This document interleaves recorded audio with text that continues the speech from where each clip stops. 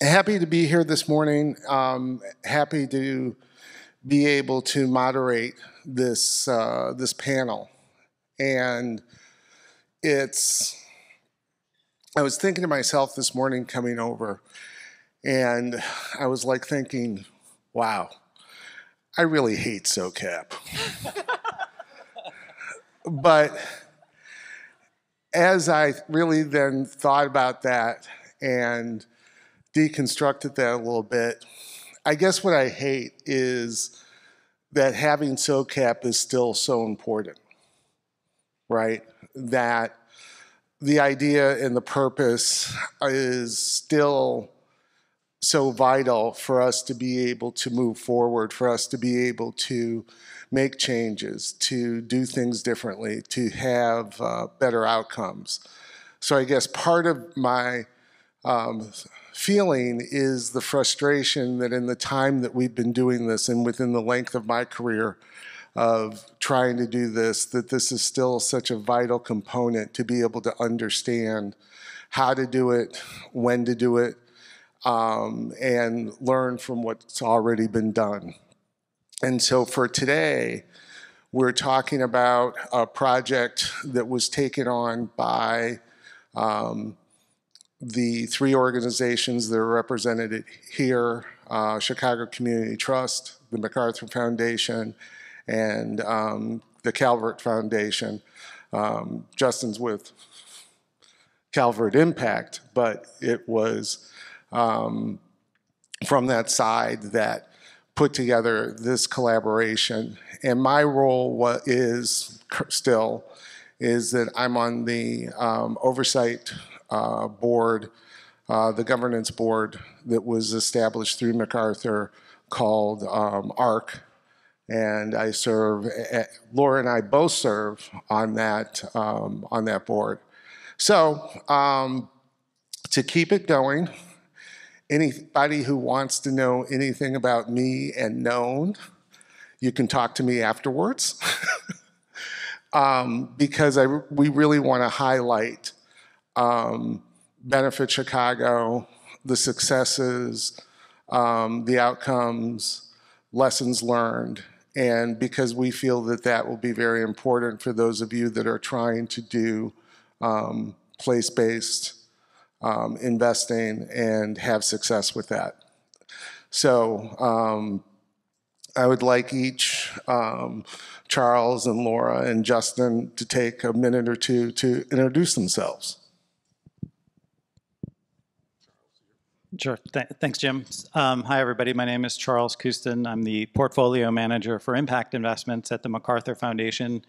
Um, that means that I have overall responsibility for managing our carve out of up to $500 million of impact first investments. The MacArthur Foundation, our endowment is a little over 8 billion. Um, and so that includes the Benefit Chicago Initiative. Um, I don't know, Jim, do we want to describe the kind of structure of the Benefit Chicago Initiative or do afterward? Okay. All right. We'll go to Laura then. Great. Good morning, everyone. I'm Laura Kernaghan. I'm Senior Director of Investments at the Chicago Community Trust. It's such a pleasure to be here and to see you all in this room. In my role as Senior Director of Investments at the Trust, I'm responsible for the entirety of our investment portfolio, which is composed of about 4 billion in assets, all of which are charitable funds entrusted to us and stewarded on behalf of a wide range of donors. Um, a vast majority of that is held in donor-advised funds, and the Benefit Chicago Collaborative represents one of our key ways of defining mission alignment within our investment portfolio, and it's a delight to share with you that journey.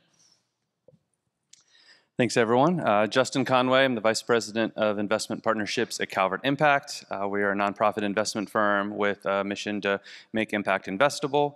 Uh, we build uh, impact investment products that are really trying to help all types of investors, uh, certainly institutions, uh, but also individuals channel capital to community-based organizations driving racial, gender, economic, climate justice in their communities. Uh, and we largely do that through multiple products. Uh, really, uh, we'll highlight the community investment note, which was used in the Benefit Chicago program. Uh, but we have a, a, private equity fund focused on addressing the racial wealth gap, and some small business funds, and a new green bond focused on uh, building decarbonization uh, to help ensure the clean energy transition. So we're working on a lot of different products, but this has been a great collaboration. So as we look at this, um, I know, Charles, you were at MacArthur when this was conceived, correct? I actually joined right after it was conceived and was part of the initial launch. Okay. Um, I think if you want to go back to the, the, the, the conception period, you'd have to go back to Justin, but I can certainly describe well, how it came uh, together. No, I'm going to hit Justin because I want to hit, hit, hit him from the Calvert side. So as best as you can, share with it with us what it was like on the MacArthur side and what the mindset was as you moved into this. Yeah. So so this year marks the 40th anniversary of the MacArthur Foundation's first impact investment. So we've been doing this for a long time. Um, we're based in Chicago, um, and an important part of our grant making work is the city of Chicago. Um, and so we've made a series of investments as well in Chicago. Um, part of our impact investing focus um, within the foundation, we're what's called a field support strategy. So part of our strategy and approach is to extend the reach and effectiveness of impact investments more broadly. And so the Benefit Chicago initiative, from our standpoint, was intended to really do two things.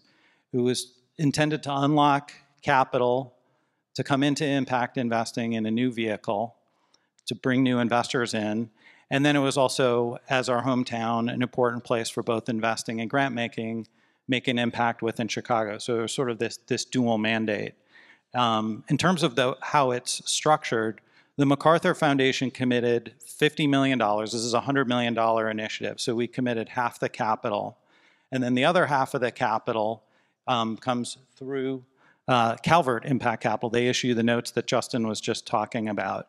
And much of that capital actually comes from the trust through the vehicle of um, the, the, community, the community notes that Justin mentioned.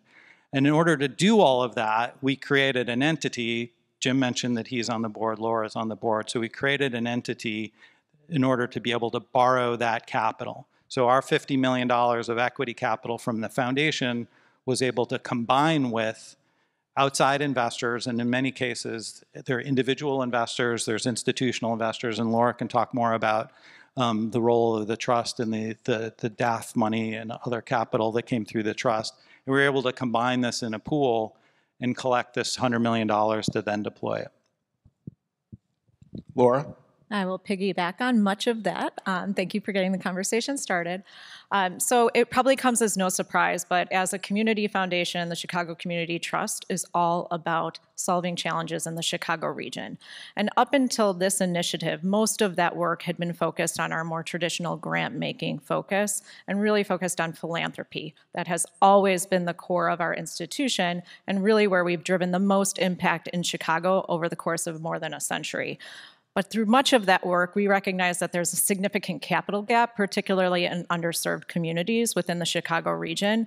And we wanted to explore additional ways to bring capital to solve the same challenges that our grant making work was looking to achieve. And ultimately, we saw this as a very important pathway to bringing that needed capital to the Chicago area and to do so in a way with a very strong partnership on both sides of this table, so to speak and then also in a way that very deeply aligned with our own mission at the Chicago Community Trust, choosing impact objectives for Benefit Chicago that very much aligned to the work that we were already doing. So that was one element of why we were so interested in this project and ultimately why we were involved as a partner. The second component was indeed in actually raising the capital to get this fund up and running and to get these funds ultimately deployed out into the Chicago community. So you heard me say a few moments ago that we, you know, in every way across our investment portfolio, we are stewards of philanthropic dollars on behalf of our donors. Those dollars are held at the trust for a varying length of time, all the way from endowed portfolios to donor advised funds that are kind of in and out of our organization. But in all of those instances, the ultimate goal is for grant making and for enabling that philanthropy in Chicago. But we increasingly, as we went into this project and in the um, ensuing years since then, have recognized that we have a lot of ways to activate those investment assets while they are housed at our organization to ultimately achieve some of the same goals. We also had a perspective that donor advised funds are very well positioned for impact investing. I like to think of behavioral economics type concepts, but I think in many ways, some of our donors have already thought of these as philanthropic funds. They're still being invested. They're not back out in the community yet, but they are very much primed to be positioned for activation of those assets for social good for the time being that they are held at our organization.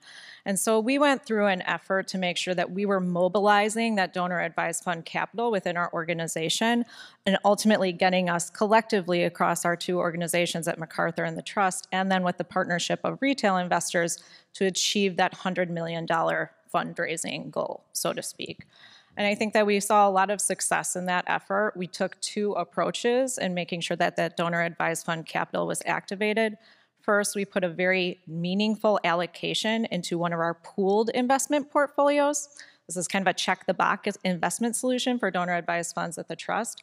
And Benefit, Benefit Chicago represents an important part of our fixed income allocation. Every donor that participates in that pool gets a little bit of impact investing by virtue of that investment.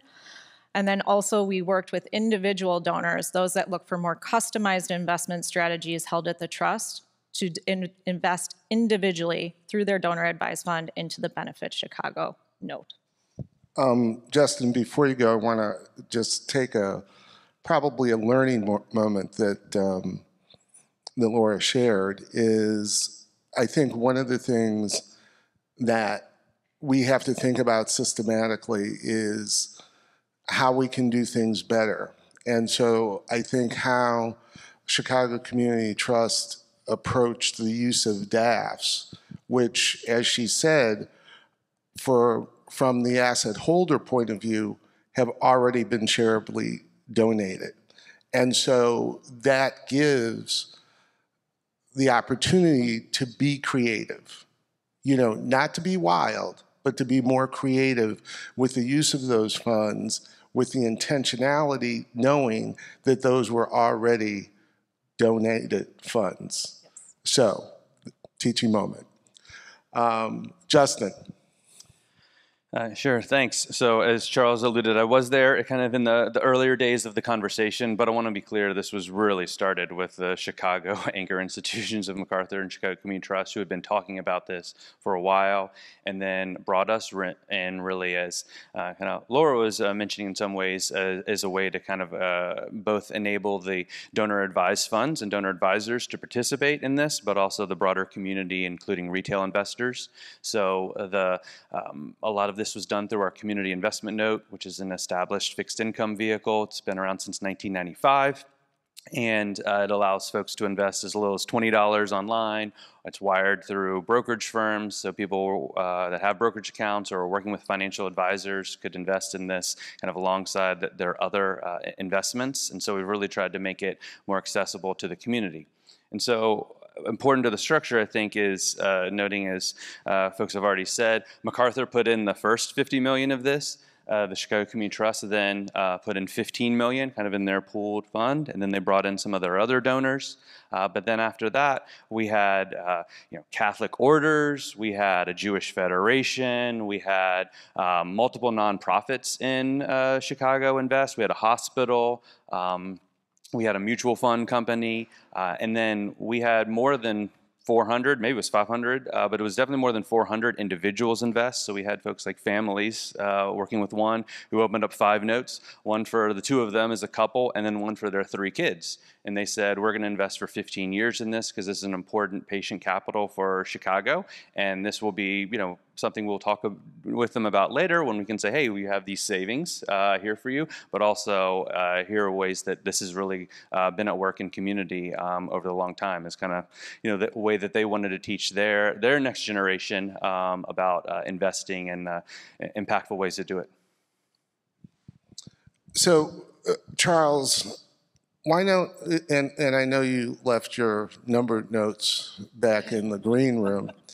Um, but just on on kind of a top level, talk about some of the investments, some of the first things that came in, what the original decision sets were, um, and how that was executed.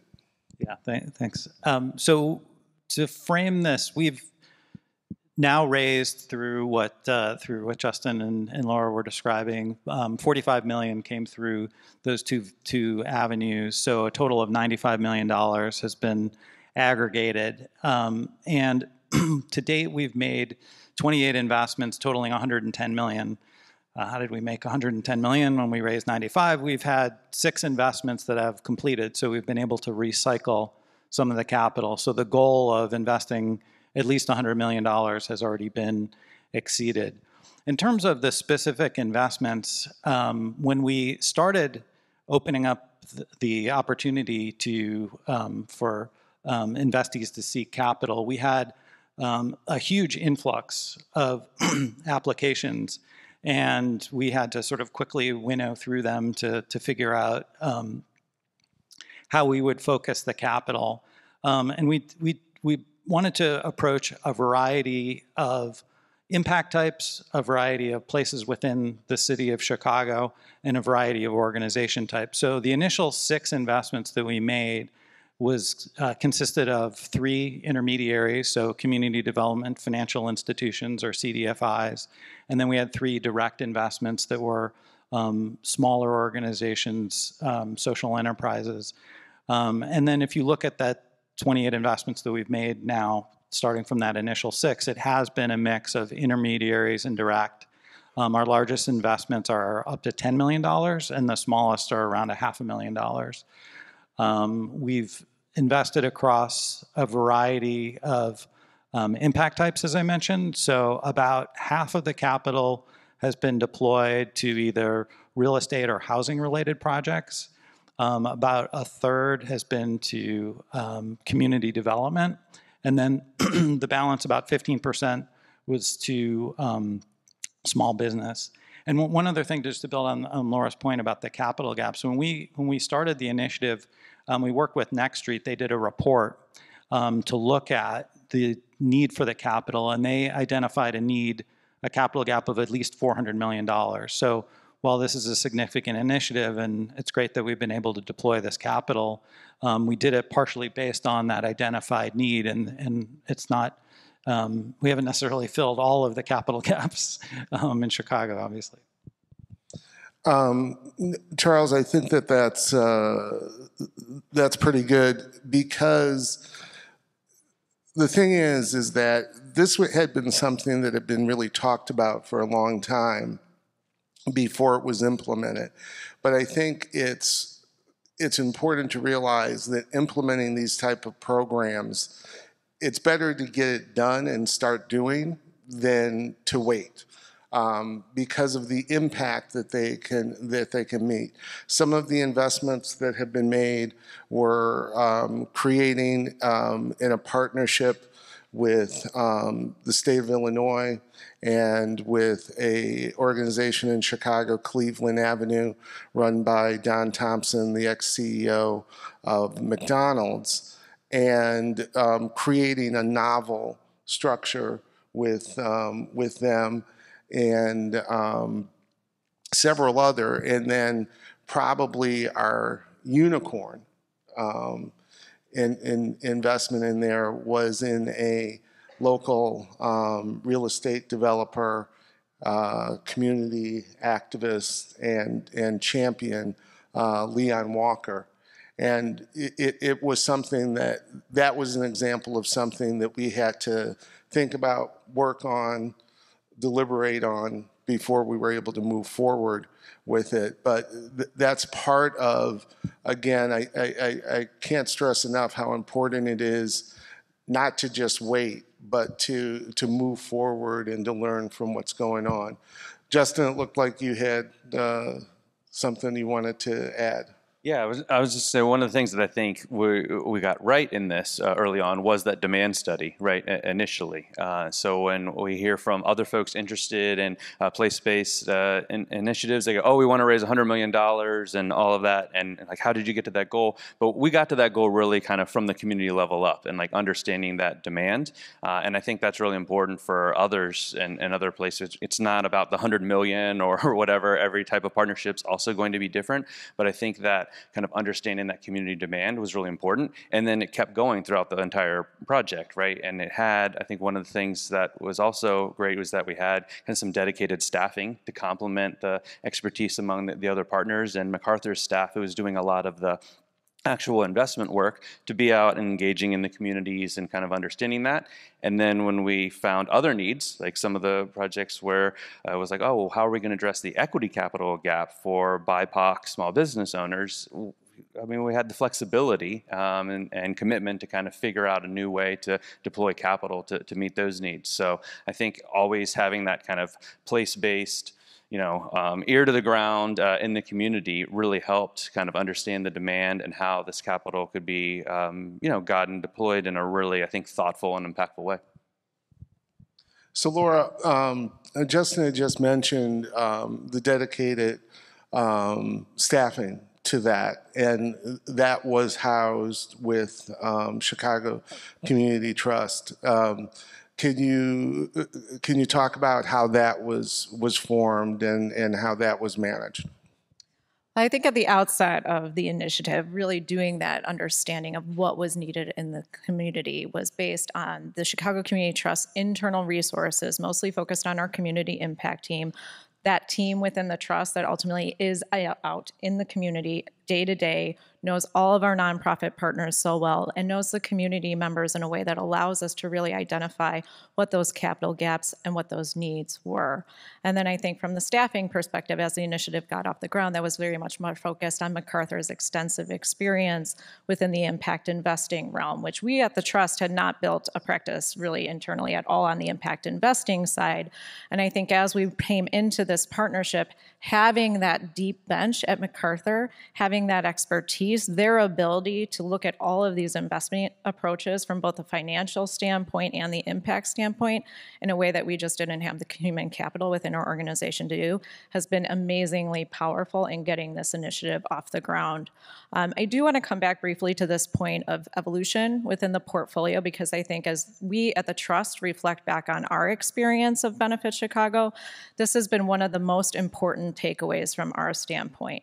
And I think to take a step back, we all enjoy coming to SOCAP, except for Jim, who hates SOCAP, um, because this industry and this area of impact investing is so rapidly evolving. You can feel the energy in the room. There's so many new ideas. There's an expanding opportunity set of ways that we can activate our capital for social good in our communities and in the broader world. And I think that's really important when you think about building an initiative like this. When we got this initiative started, there were very much specific ways that we had identified that we could rapidly deploy impact for immediate capital. I think that you know starting with investments in CDFIs is a great example of leveraging existing infrastructure and networks for impact and really a very rapid pathway to generating the, the, impact that you want to see. But there's been a very clear evolution through Benefit Chicago to pivot some of our approaches as new opportunities arise and as new impact investments are available to us. And I think that that's been one of the most rewarding aspects of this collaborative is, is our ability to really serve the needs of the community in a way that's responsive and evolving over time. And the trust has really brought that into so many of our other impact investing approaches with the recognition that we want to be able to do new things as they become available to us. Yeah, and just picking up on that, I think one of the interesting things we did is, Charles, you mentioned the demand that we got. I mean, there was hundreds of applications, and that wasn't all going to fit for the Benefit Chicago investment portfolio. But I think you, the, the dedicated staff at the Trust and MacArthur Foundation ultimately helped direct some of those people to CDFIs to get direct uh, relationships there and said, well, you, you could fit for the, one of the CDFI partner portfolios. And also some of those uh, were referred to grants uh, by your organizations as well because they weren't yet investment ready. So there were a number of ways like beyond just the portfolio that I think uh, you know, the, the organizations tried to help the, the applicants kind of understand um, how they could access capital for, for their needs. You know, um, one of the things as this evolved for all of the organizations um, were, as we've kind of talked about, the different pivot points. And I think that as um, I don't think as much as there was anticipation as to what how this would re- be received in the community, I don't think anybody really fully comprehended what the volume would be and what the the interest would be. Um, you know, the I, I know the original team that was at um, Chicago Community Trust was basically you, you know playing traffic cop, you, you know, blocking, nudging. Um, moving all of the the or, different organizations in, involved, and even having to navigate within the community to what it was. Um, you know, because lots of what people were coming in with were their own ideas of what it was versus what was actually trying to to to happen. Um, one of the pivots I know that as this was developing, um, Chicago Community Trust went through a leadership change. Um, and the when the new leadership uh, came in, um, Helene Gayle, uh, one of her concerns was over governance and that the um, community trust didn't have a board member on the seat of ARC, which was the oversight. And so, but the governance was really dictated to a degree by MacArthur because they were the sole member of the oversight LLC put in place. So, um, my old friend, the general counsel at uh, MacArthur Foundation, uh, Joshua Mintz, um, had an idea of, hmm, who do I know that I can call that can help me out with this? And so in uh, August of 2018, I got a call from uh, Josh Mintz on when I was on Martha's Vineyard, and um, he described the the situation, and he said, "Well, you know, while I can't have um, Chicago Community Trust appoint a, a director." I can appoint you and I can appoint you from them. And then you need to tell Helene you're actually her person. so that's one of the pivots that, that was made that worked out well.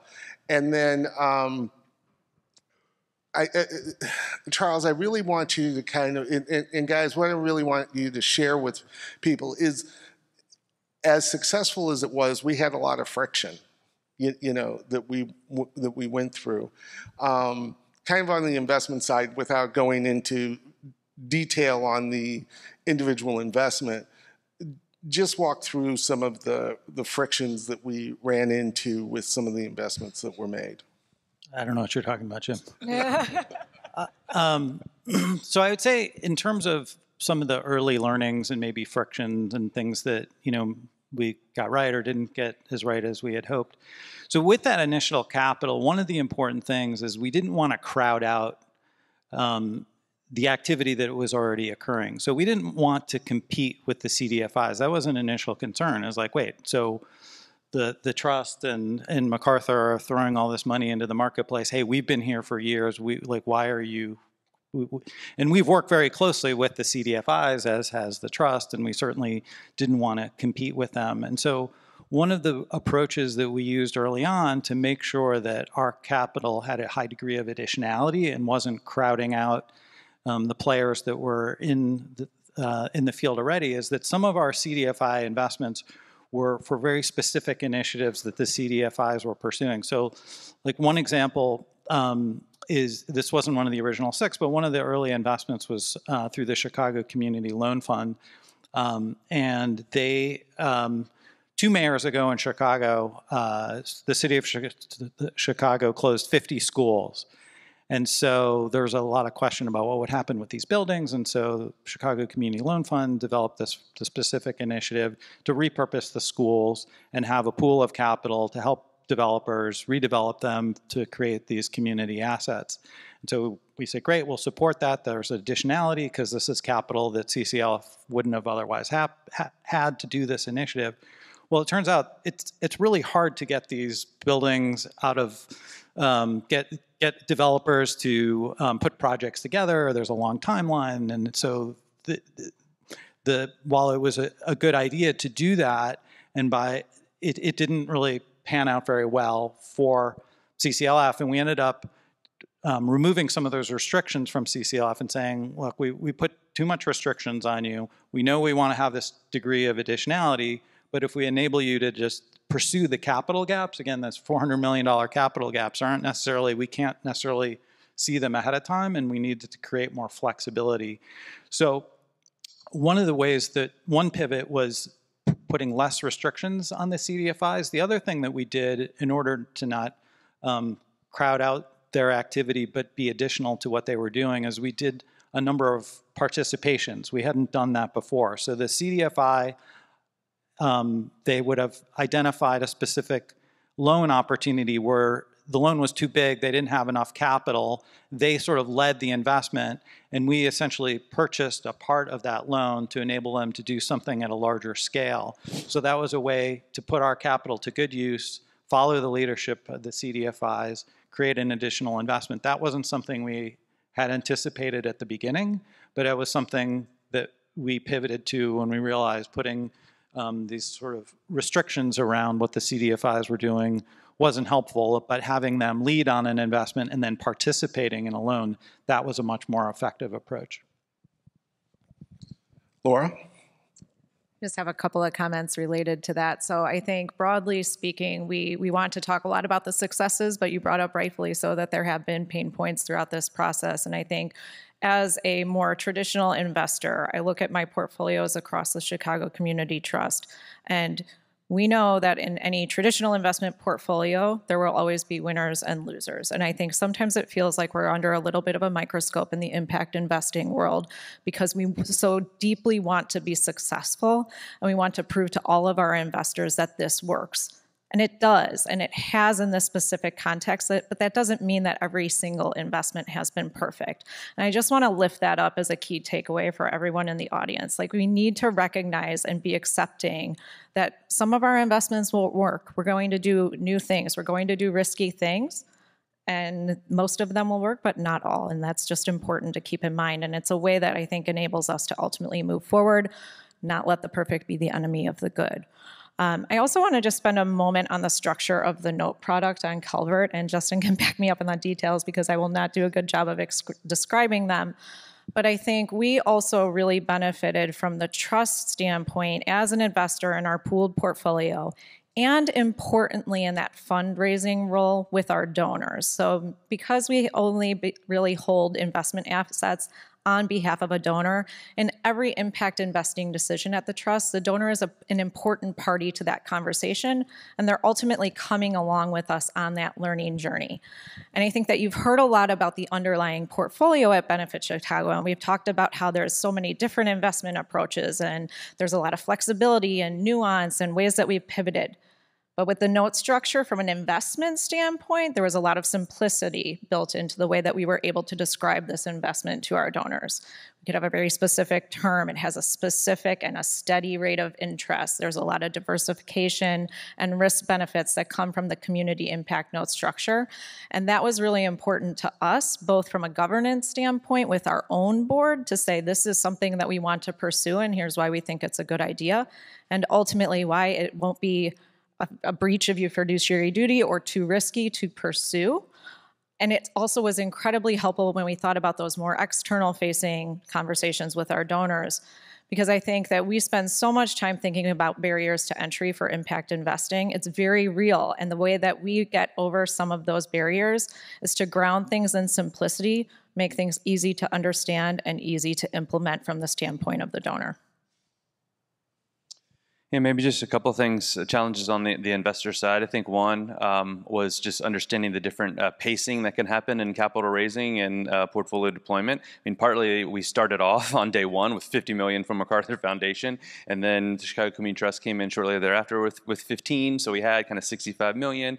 Then we started bringing in other investors. They're impact investors. They want to see the impact. We had good stories, but we were doing a lot of, uh, you know, community organizing, so to speak, and, and making sure that the money money was, uh, you know, deployed thoughtfully and really impactfully. So it kind of took a little while for some of the portfolio to, to catch up uh, and all of that. And so, because people wanted to see those stories, and I think one of the things that um, you know I wish hadn't happened, uh, I think we all do, right? This uh, the, the, pandemic, because we were just about to start kind of really getting out in the community more. And so, part of this program was not just to work with anchor institutions that are already committed to impact investing, like up here on the stage, but to get folks who cared about Chicago had never thought about impact investing before, and we had started to do that. But one of the ways that we, we really do that effectively is get them to to kind of go out in the community, see the uh, you know the, the small businesses, meet the entrepreneurs, see the, the projects and all of that. So we really wanted to do some of the impact tours and things like that, but the pandemic kind of you know uh, stopped that. So I'm glad now. I think we still have some work to do on kind of get, providing that impact experience, so to speak, to investors. And we're working on an impact report and a number of things coming up because this is a, a long-term portfolio and commitment. So we might not be actively capital raising today for new investors, but we have a lot of investors. We have um, some uh, great uh, a great portfolio and all of that. So um, we're, we're, in it for the, the longer term and have some more to do on the the impact investor experience. So as we talk about this, um, you know, it's always great to to bring it back to the, the this original strategy was really place based, right? Um, for Chicago, and I think even in its earliest conception, it was intended to also be a model.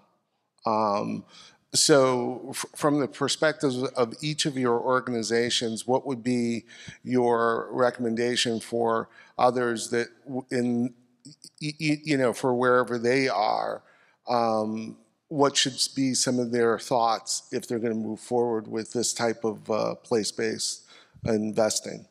Laura, I'll let you go first. Thanks. I was hoping someone else could go first on that one. That's a very big topic. Um, you know, I think that broadly, as you've heard from everyone on the stage today, we've learned a lot in the experience, but we also were willing to just get started at the beginning. Um, and I think that we have taken that learning in so many impact investing efforts at the trust to say we don't always know what's going to be perfect. Um, we don't know what's going to be perfect from an investment standpoint. We know we can't satisfy every stakeholder, whether that be our donors, community members, internal staff, our governance, so on and so forth. But trying to get most things right, I think, is an important first step. Um, I think the the other thing that we've really learned, and I think it's important from both the trust perspective and when we think about the external donor perspective as well, is really centering around impact. Um, and I think being able to do that in the investment approach that MacArthur has so thoughtfully put together for this portfolio, but then as Justin also mentioned, really starting to be able to tell, to tell that impact story very effectively to all the investors coming through the note product as well has been so critical to the way that we think about this working um, and the way that really enabled us to do that more fundraising element of the Chicago Community Trust portion of this initiative. Um, we didn't know going into this initiative or other impact investing approaches essentially whether our donors would accept a concessionary return in order to generate locally focused impact. I think that we were very much predisposition to think that would be the case. Most of our donors, in some way, have a very personal connection to Chicago.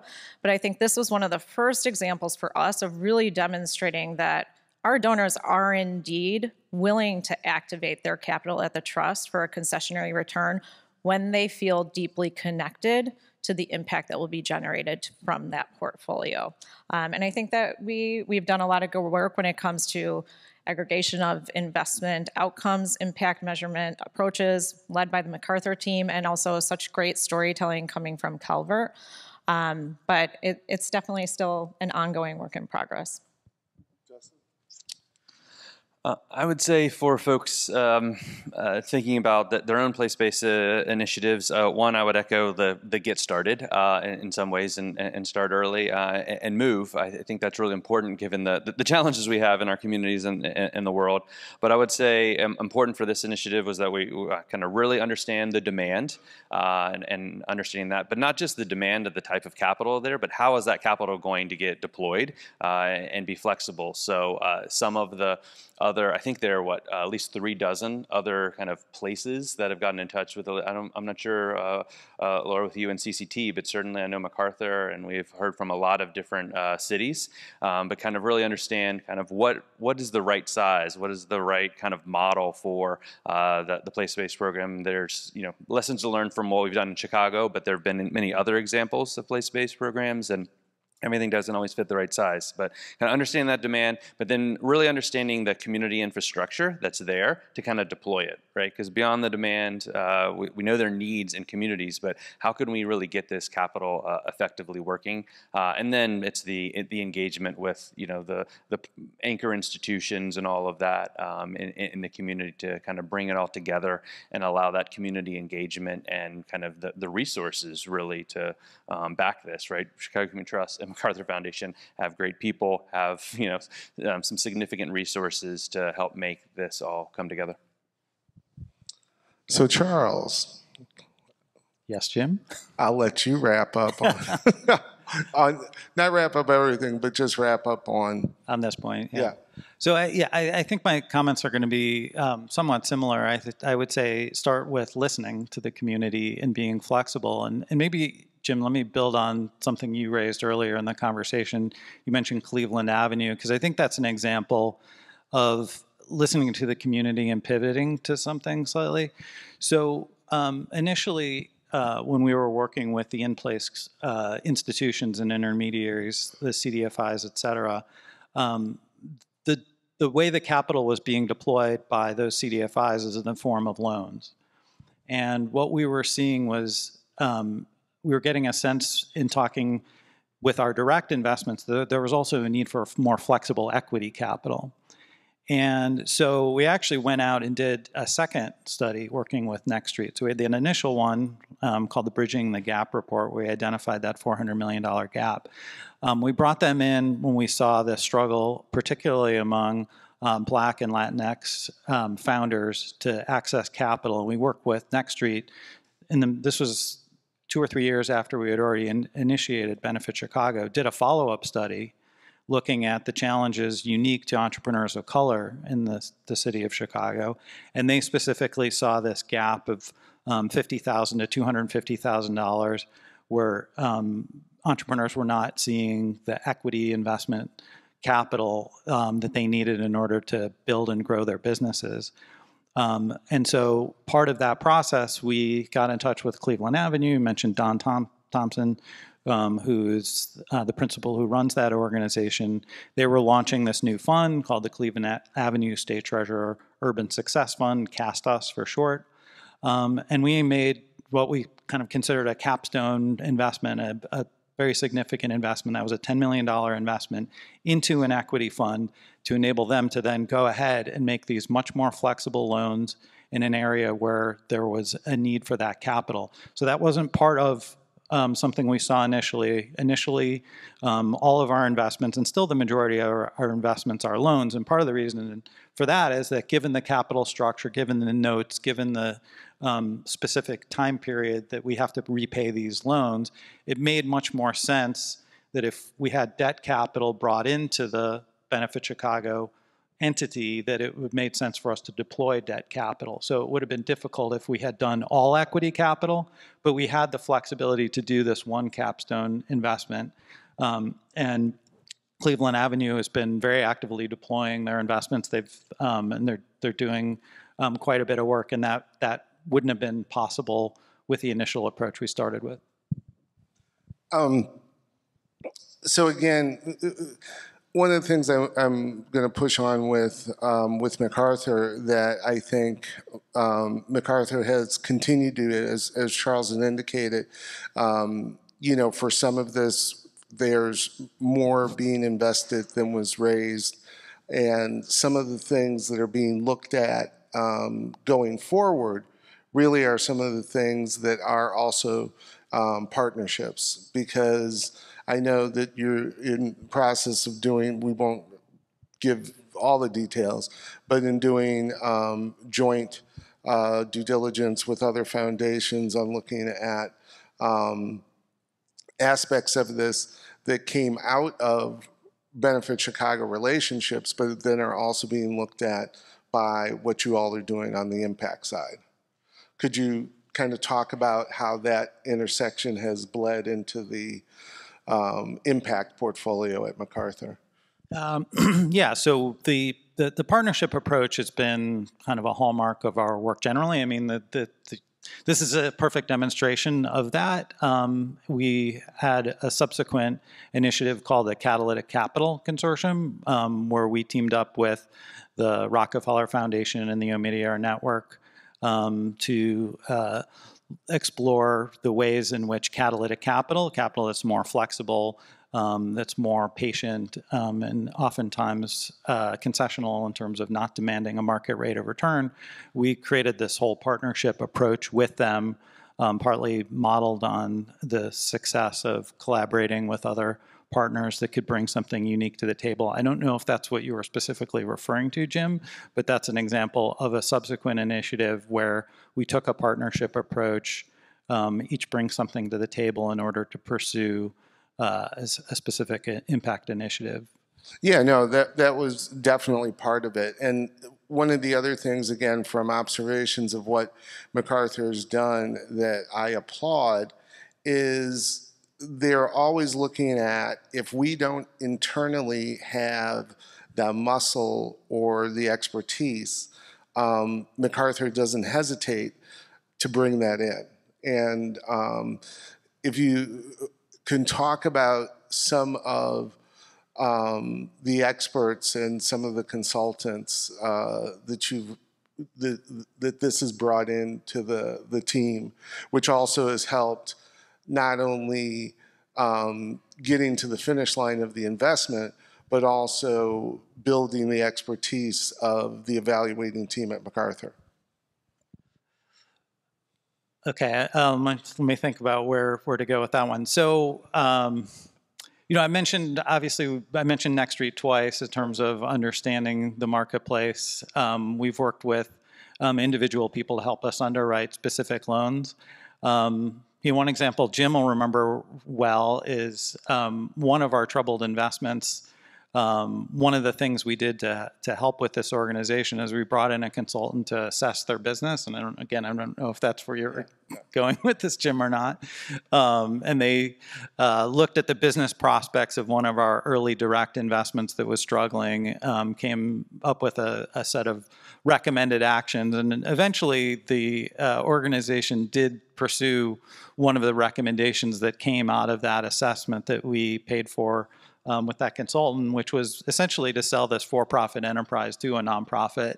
Um, the sale price was uh, not sufficient to fully repay the loan, so that was a financial loss to us. But um, we're hoping for impact continuation by having that organization sort of recognize that their initial thesis wasn't playing out, and that by selling to a nonprofit, if if we didn't get our financial return, at least there was an opportunity for impact continuation. You got there, Charles. um, and I wanted to kind of lean on that e- example and to what what Laura had said uh, as as well.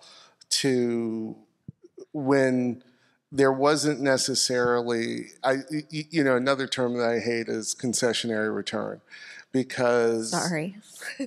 Well no no no no. It, it, it's fair but the thing is is because we devalue the value of outcomes of successful outcomes. And so in that example that charles just talked about the reality is we had a very successful outcome. It wasn't we didn't get the um, financial return but I think that the outcome return and the ability of an entity to continue operation, continue with the impact that it was having in the community is huge to be able to do that. And that's part of what I think is when we do impact investing and when we think about it, we can't use the same nomenclature that we think about of how we do market rate investments. We have to think of that the, the benefit, the utility of that return, particularly when it's place-based within the community, can literally be something that grows and grows over time, that we're not going to necessarily capture that in our time horizon that we're looking at, but that impact overall and those things that have changed are, are huge influences within the communities that they're um, executed in. Um, so as we're, we're kind of getting down to the, the, the, the end of our time, we got about a little bit less than 10 minutes. Um, Justin, I want to start with you. Um, if you could share with us what the view is for what's the go forward, what's what are the next steps uh, for Calvert um, after um, not that Benefit Chicago is over, but it's it's it's time for next steps. What are what are Calvert's next steps going to be? Yeah, so uh, again, uh, as you said, Jim, it's it's not over. So we're still uh, working uh, on the Benefit Chicago program, and will be for for uh, many years. Uh, but I think we ultimately want to be more active and kind of uh, showing the investor experience, right, to folks in Chicago, uh, but also to uh, helping, you know, share lessons learned, inform other place-based and other impact investing programs. So I know uh, some of us probably can speak to others. I know there's some some work now in the Twin Cities that's taking place in a place-based initiative. Um, I've been talking with uh, some of the transition team uh, with the new mayor in Denver about kind of how they can learn from uh, Benefit Chicago to do something kind of at that scale to address some of the needs in Denver uh, area. So I think there are some you know some of the place-based things, but I would just say for for Calvert's perspective, we've learned a lot as folks have said, just about the deep partnership and kind of now how that's just like really part of our model. And in all of our new products and programs, it's how can we really build uh, a partnership, a collaboration to ultimately um, execute well and do it at a scale and at, a, an urgency, right, uh, that, that, we need.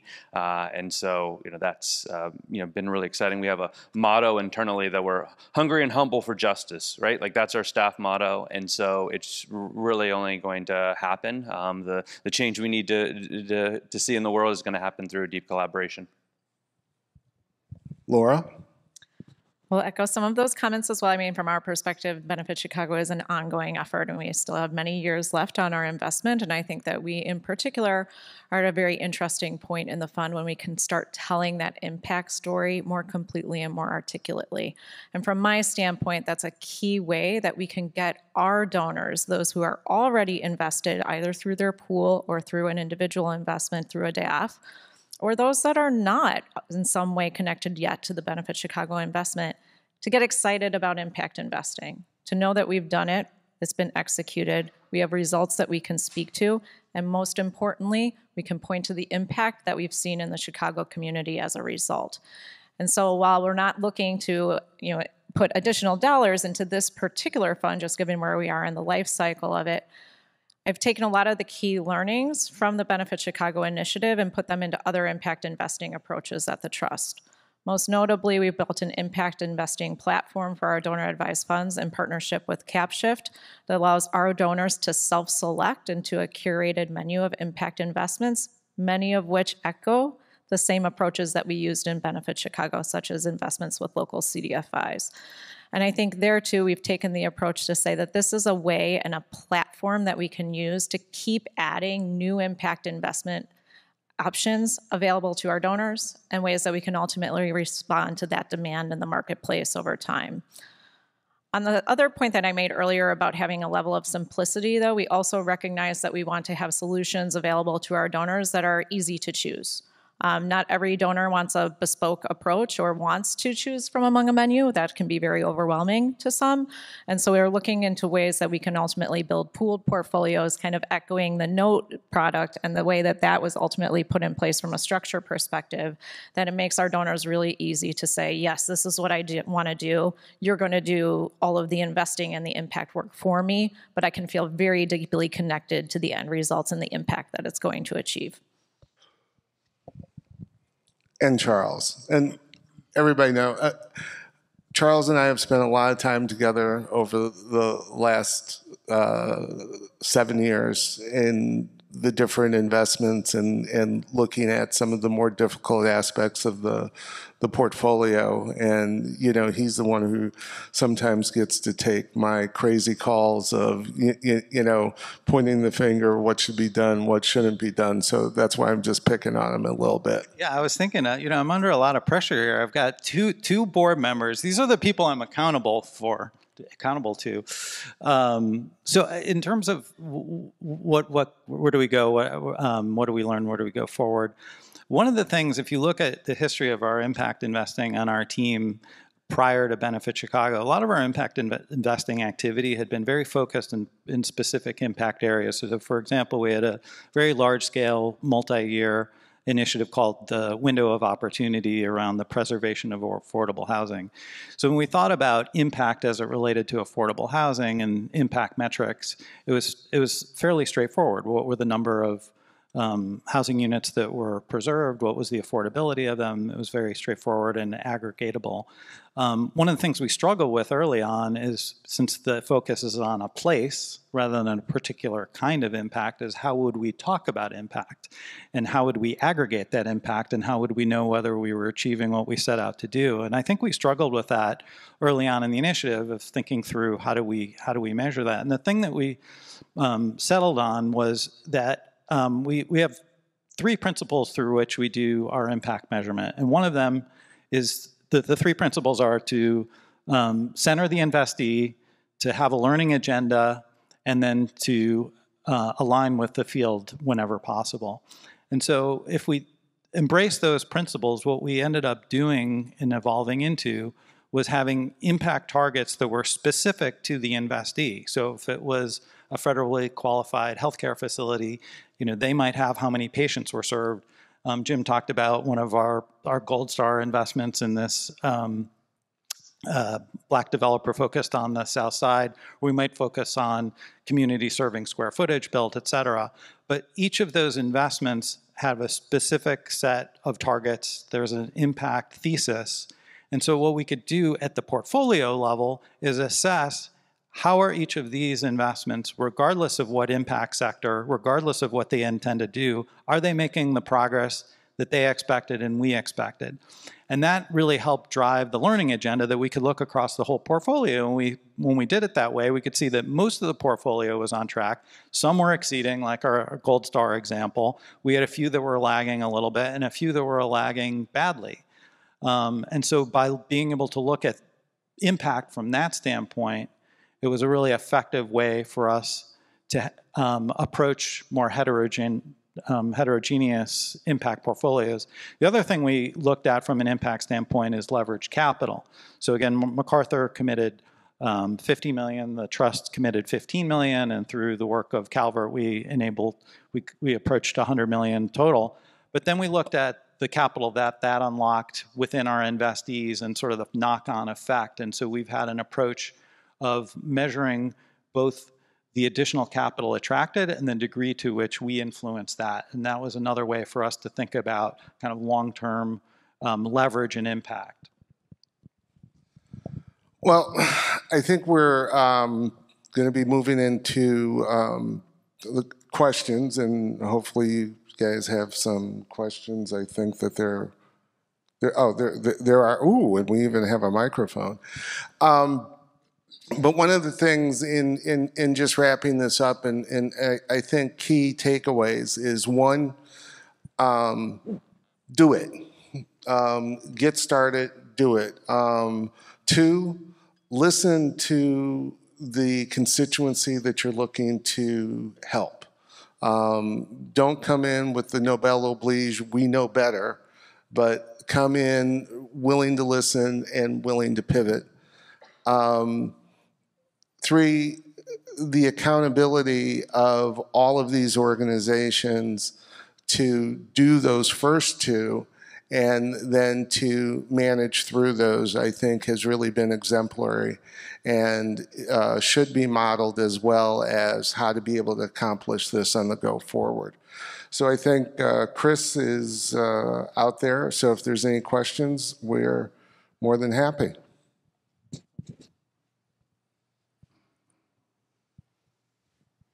Hello. Um, I'm curious how you guys are looking at the rest of the funds. As you said you're recycling some. How much longer will you be recycling? And when is kind of the end date on investment where you're just waiting for returns to come back? Yeah, so the, the fund, uh, the fund life goes until 2032, is that correct, Justin? 33. 33, all right, well, we should probably know that more specifically.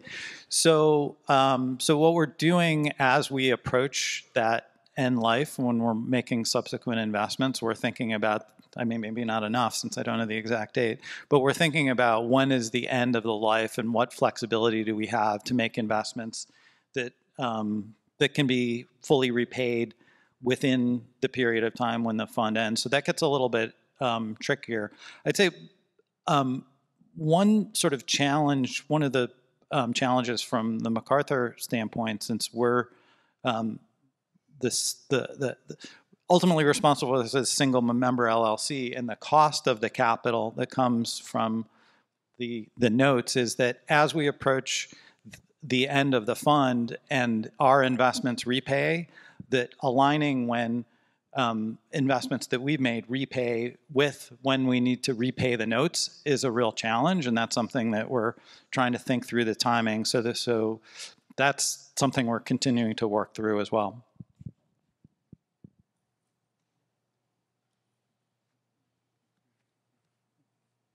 More questions?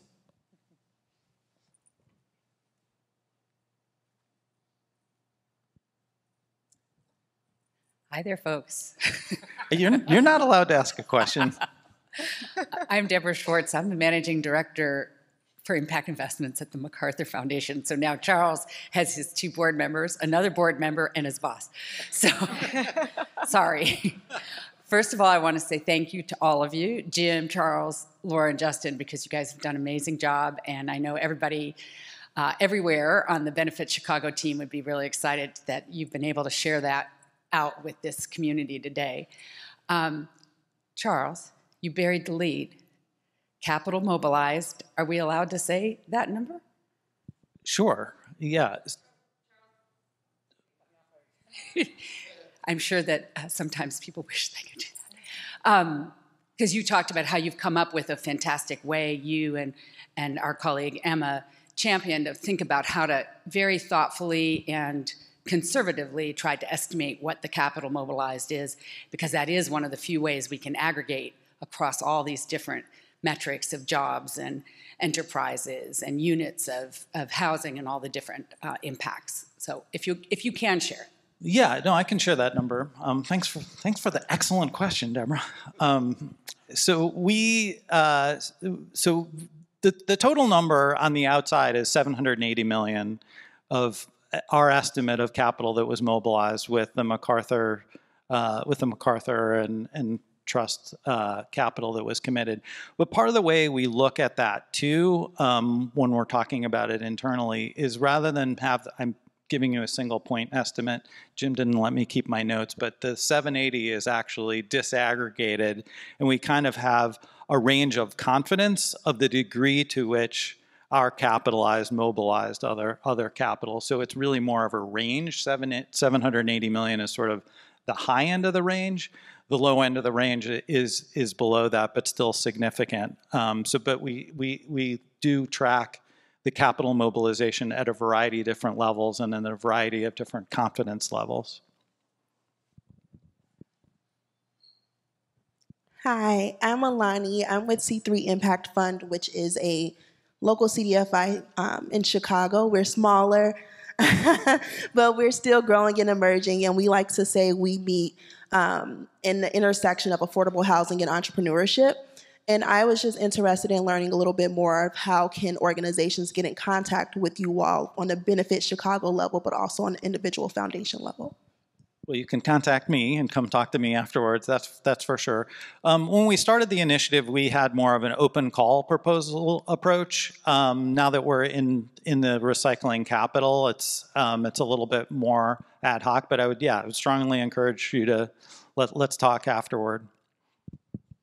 Same. I'd love to meet you, and I'd love to further discuss your work. Um, we are all all ears and all doors open when it comes to meeting new organizations that are doing good work in Chicago.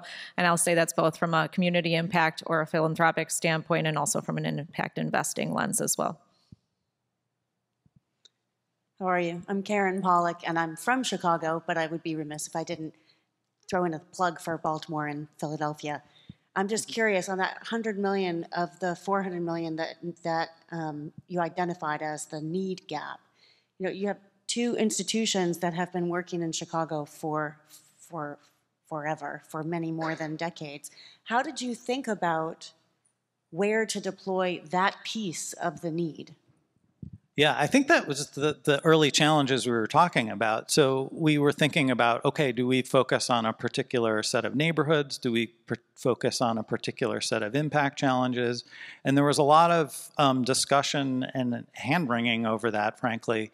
Um, and I think where we ultimately ended up was with this kind of lesson learned of having to listen. So again, I'll go back to the example of Cleveland Avenue and the very clear need for entrepreneurs of color to have flexible capital. That's not, we didn't go in with that thesis, but as we were in the marketplace for several years, talking to lots of entrepreneurs and talking to other uh, constituents in, in, the, um, in the neighborhoods, that was where an identified need was. So it was really more a matter of being responsive and listening and then um, acting when we saw what was needed.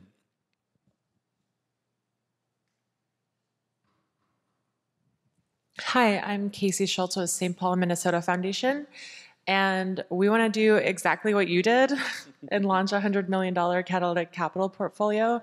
Do you, for other communities who want to replicate this, do you have like a playbook? What resources are you sharing with other community foundations? Again, I'd be happy to, to talk, talk through it and we can sort of explain our approach and what worked and what didn't work. I think there are um, some challenges, again, that we talked about that might keep you from replicating exactly. So some of the timing issues I mentioned with the cost of the capital. So for example, we pulled down the capital from Calvert at the beginning of the initiative before we had deployed any capital. So we had negative cash flow in, in the early part of the initiative. Right now we're in a positive cash flow mode and the risk is we're gonna end up in a negative cash flow at the end of the initiative. So it ends up being very expensive. That's that's one thing just in terms of the structure. The other thing is that we had to have um, a staff in place to do the investment. So all the investment activity is being done by the MacArthur Foundation staff. Um, we have nine full-time people working on it, including my boss who's sitting directly behind you. Um, and with, without having the staff in place, um, the expertise within the foundation. It's not just our staff. We have the legal staff, so all the legal work's being done within the foundation, the accounting, um, the, the compliance work. There's quite a bit of resources within the MacArthur Foundation that existed prior to the initiative that we were able to, um, to, to, deploy in this way. I think if you're building it from scratch, scratch, that would be another cost. So there's definitely some cost issues with this approach. As we mentioned, I think there's a lot of things we learned and a lot of things that um, we would encourage you to try to learn from what what um, from what we what we gleaned over the years. But I I don't know that this is like take this model exactly replicate it. Um, but but happy to talk separately. I'm happy to talk as well from the community foundation perspective. We are very much still learning and we are building our internal resource as well. So we so most certainly do not have a playbook, but we've been testing a lot of things and happy to share with you our takeaways from all of our efforts. And also happy to talk. We had a place-based initiative in Twin Cities uh, a number of years ago, so I learned some things uh, kind of more specific to that community as well. And I think there's some broader um, organizations like Mission Investors Exchange and um, others. I know MacArthur has founded some other kind of place-based, um, you know, reports and, and things with some organizations. So I think there's some other resources. Um, certainly, the person behind you can uh, uh, help with that too. Um, I think we're, we're, we're close to wrapping up, but one of the things that I did want to share, um, having, um, I'm, I'm a Chicagoan and having had the opportunity to grow up um, in Chicago for the impact of, over the years of uh, Chicago Community Trust on the things that they have done with, within the community, and then um, had the opportunity early in my career to work at uh, the MacArthur Foundation, um, having a crossover with my great friend and fellow board member, uh, Deborah Schwartz. Um, and, and going, taking it back to my earlier statement of why I'm still, I'm frustrated on that there's such a need for this is that um, Charles had said, and MacArthur has been doing this for over 40 years, um, looking at different innovative ways to utilize not just the um, 5% that's giving up, but also the endowment dollars. Um, we did a lot of the early PRIs, and even I remember us working with um, representatives of IRS, with our Treasury group, and even trying to figure out the, the structures and the meanings around the, the, the term PRI and MRI and, and coming up in that. And that was in the 90s. And, you know, we did an investment um, in South Carolina um, that was in uh, South Carolina Jobs and Economic Development Authority. Uh, we bought a portfolio of loans that were from uh, HUD community block grants that uh, this organization was using to create businesses and jobs throughout South Carolina. Um, but that was drying up and they wanted to be able to continue. Um, while I was at MacArthur, we purchased that portfolio. Um, we cleaned up that portfolio. Um, it was, it was, I think, originally $25 million of loans. We bought them for about $14 million um, and then cleaned them up, ended up selling them for 23 million. And yes, I did think I was pretty smart in putting that transaction together. But I was able to come back to that um, 18 years later and learning that South Carolina Jobs and Economic Development Authority had taken the model that we had used to underwrite $9 billion of loans create 250,000 jobs in the state of South Carolina, and also a lot of those businesses attracted the auto industries to BMW and Mercedes to come to South Carolina to establish. What does all that mean? It means that impact works, that outcomes matter, but you have to press into and lean into doing things that are different, doing things that are novel, and learning from them and being able to move forward.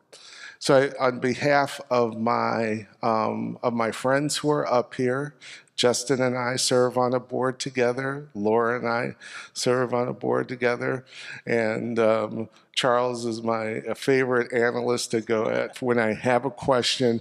But really the work that he has done in the reporting, in the analyst, in everything has just been outstanding. So um, thank you all very much. I think we're, I don't know if we're going to be around, but we'll be available to, to talk to. Thank you, everybody.